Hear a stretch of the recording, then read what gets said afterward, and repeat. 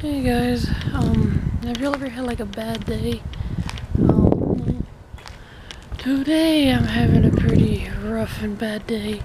Um, this will be a really, really short video, honestly.